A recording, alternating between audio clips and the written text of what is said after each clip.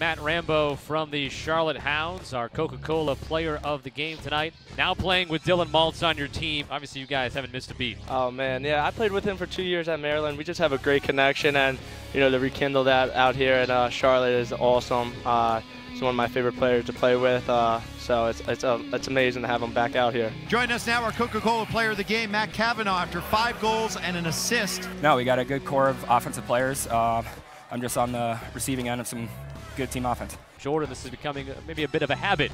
Uh, Coca-Cola player of the game, three goals and three assists today. Our team's been playing great. Um, you know, everyone seems very confident. It's been you know very similar offense the last few weeks, so I think we're getting some chemistry with all of our guys. Nine goals now in the first four games of the season. Matt, your team is 4 0. What's been working for you and your team so far early in the season? We're not being selfish, and then, uh, as you can tell, we're moving the ball all over and just finding the open man. No one's really trying to get theirs. We're just, you know, having fun, and uh, we have a great locker room.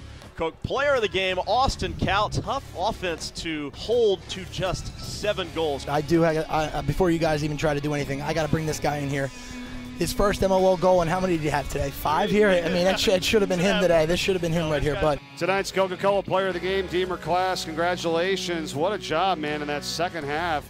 How did you get free? How did you fire off those two pointers and uh, help bring your team back into it? Yeah, it was a, definitely a tough first half. I think as a group offensively. um, but uh, coaches challenged us in the locker room, and uh, you know I just wanted to come out and do what I could for my teammates. I just kept shooting, and my coach just kept pushing me, so it was great.